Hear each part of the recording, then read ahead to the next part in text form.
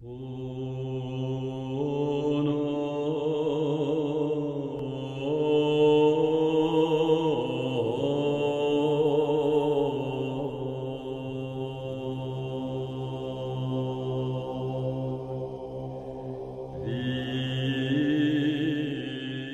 1279, après plusieurs assassinats.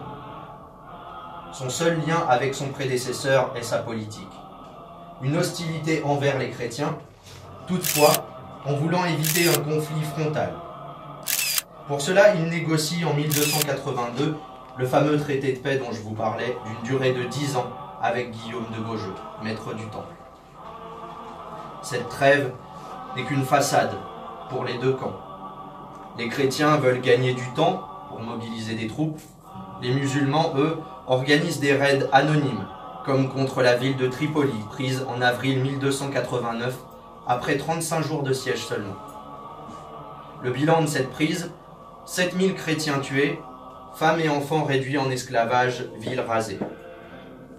Les quelques rescapés se rendent à Acre, la capitale chrétienne, pour prévenir du danger imminent. Toutefois, les moyens de Kelaoun sont trop limités pour attaquer Acre. C'est une grande ville. Elle est relativement bien gardée. Il décide donc, afin de gagner du temps et mieux s'organiser, de signer une nouvelle trêve, d'une durée de deux ans, deux mois, deux semaines, deux jours et deux heures. De leur côté, les chrétiens tirent la sonnette d'alarme en Occident. Mais le nouveau pape, Nicolas IV, reste insensible et n'envoie pour la protection de la Terre Sainte que 1500 croisés qu'il a recrutés parmi les vagabonds et les bandits. Et leur venue fait peut-être pire que mieux.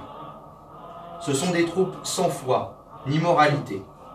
Ils tuent et pillent les musulmans, mais aussi les chrétiens.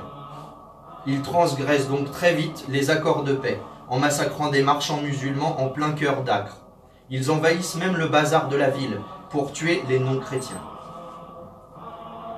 la réaction immédiate ne se fait pas attendre chez les musulmans.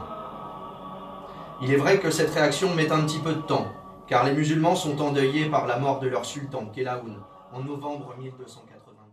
Vous avez assisté pour une première fois à un chapitre templier. Quelles sont vos impressions? Eh bien écoutez, euh, la première des choses qui me vient, le premier des mots qui me vient, c'est l'admiration.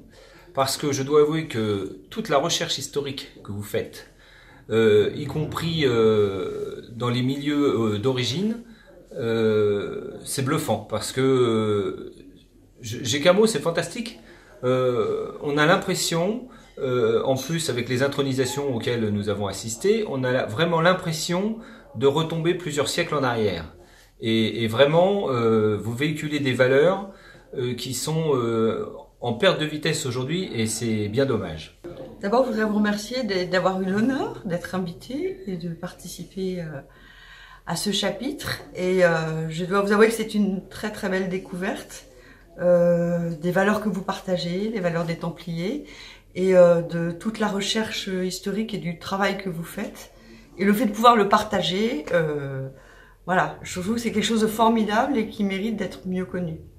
Vous avez donc passé un bon moment? Excellent, formidable. Vous êtes donc satisfait de ce que vous avez découvert? Ah, Absolument à 100%. C'est vraiment... Et je reviendrai faire d'autres visites. Merci.